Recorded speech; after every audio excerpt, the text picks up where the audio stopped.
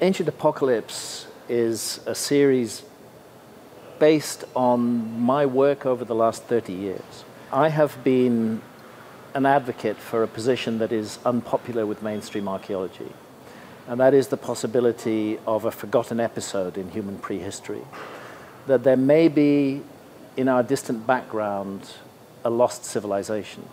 I'm not coming from nowhere with this. The idea has been around for a very long time most archaeologists will roll their eyes when you mention the word Atlantis. But the earliest surviving reference we have to Atlantis is in the work of the Greek philosopher Plato. The story was of a great advanced civilization that had been destroyed in an enormous flood.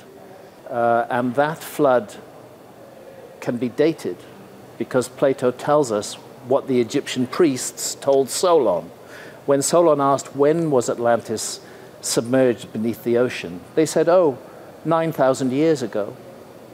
That was in 600 BC.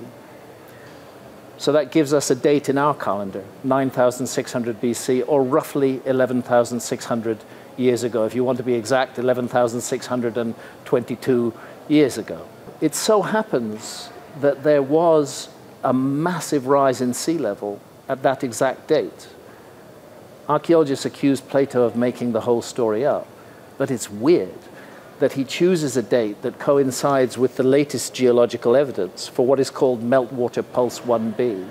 It was the end of the Ice Age. Northern Europe and North America were both covered with ice caps more than a mile deep, in some cases more than two miles deep. If Atlantis is a fantasy, we have to grapple with the fact that A, it comes to us from Plato, and B, Plato gives us a date that coincides very precisely with very modern scientific information.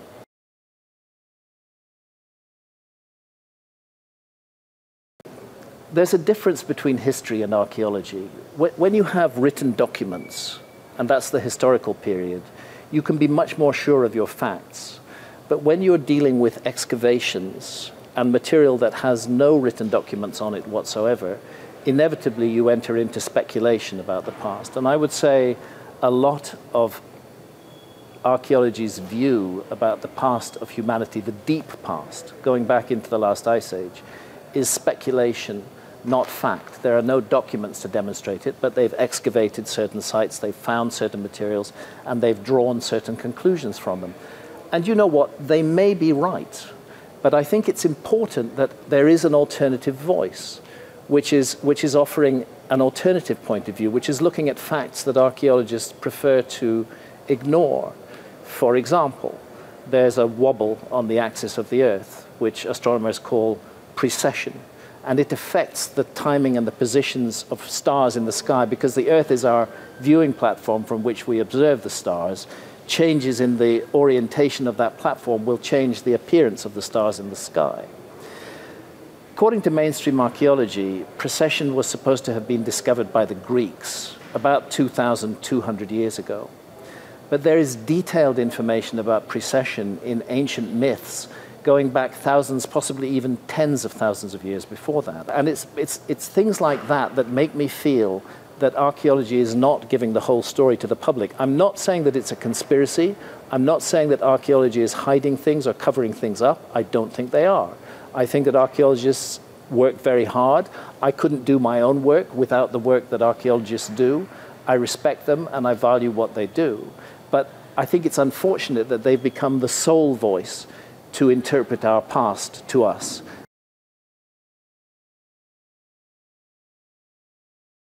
Uh, this is where I find my critics very lazy and very idle. Hancock's a pseudoscientist, let's not spend any more time on him. They don't really engage or get to grips with my arguments. A lot of people are under the impression that I think aliens built the pyramids. Well, I don't think aliens built the pyramids. I don't need aliens for that. Who needs them? We, the, the possibility of a lost civilization is much more plausible and, and much, more, uh, much easier to stand up. I think that if we take the case of the Great Pyramid of Giza, which is the last surviving wonder of the ancient world and probably the most famous monument on, on Earth. I think the problem is that archaeology doesn't allow that monument to speak for itself. Why did it need to be aligned to within 3 60ths of a single degree of true north? I mean, really, it can be a fantastic, grandiose tomb, and it can be five degrees off true north, and nobody will notice. But to get it within 3 60ths of a degree of true north requires extraordinary effort. Why does the Great Pyramid have uh, a kind of scale model of the Earth built into it? Uh, if you take the height of the Great Pyramid and multiply it by 43,200, you get the polar radius of the Earth if you measure the base perimeter of the Great Pyramid and multiply it by the same number, 43,200, you get the equatorial circumference of the Earth. So key dimension, not only is the Great Pyramid aligned perfectly to true north, but also it incorporates on a, on a scale of 1 to 43,200 the key dimensions of the Earth, the polar radius and the equatorial circumference. I can't accept that it's a coincidence precisely because of the scale used. It would be possible to build a, a, a giant monument uh, 580 feet high or 430 feet high. But this monument, 481 feet high, is that height for a particular reason, and it yields that scale. And that scale is derived from a key motion of the Earth itself, and that is the wobble of the Earth's axis that is called precession, which unfolds at the rate of one degree every 72 years. And the whole cycle takes 25,920 years to complete. It so happens that 43,200 is a multiple of 72. It's 600 times 72. So the Great Pyramid is a scale model of the Earth built to a scale set by the Earth itself.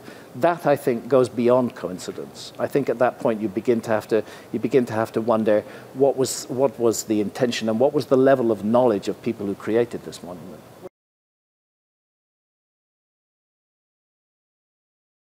I think it's part of the human condition to be, to be curious about the past. Um, and I do, think it, I do think it matters, particularly when it comes to the issue of a lost civilization.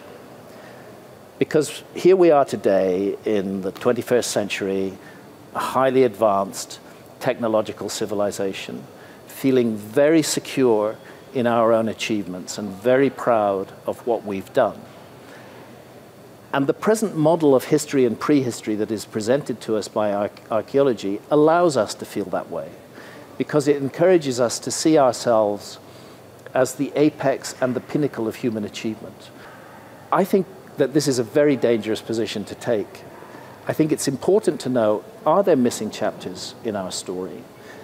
Particularly, is there a lost civilization in our story? A, a civilization perhaps not as advanced as ours, but much more advanced than the hunter gatherers who are supposed to have been the only population of the earth during the last ice age.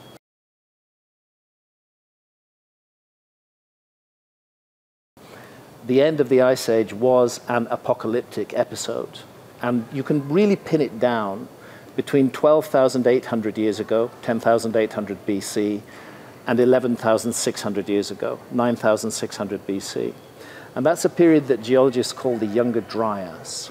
So the question, the question becomes this cataclysmic episode of 1,200 years ago, which begins with a deep freeze and a sudden sea level rise, and which ends with a sudden warming and another sudden sea level rise, was very erosive and damaging uh, to anybody who lived along coastlines. 27 million square kilometers of the Earth's surface was flooded at the end of the Ice Age. That's roughly China and Europe and the Indian subcontinent added together. As the sea levels rise, they're smashing into these coastlines and they're pummeling and destroying everything. This was the best real estate on Earth. This is where people lived during the Ice Age. The coastlines were the best places to be, and those were the places that got massively damaged and, and, and pummeled. I don't think that archaeology is in a place to say we've got the whole past of the human race sorted out when they haven't done the work on the flooded coastlines during the Ice Age, when they haven't done the work in the Sahara Desert, and when they haven't done the work in the Amazon rainforest. There are enormous areas of our planet have barely been touched by archaeology. I'll get that little piece of dandruff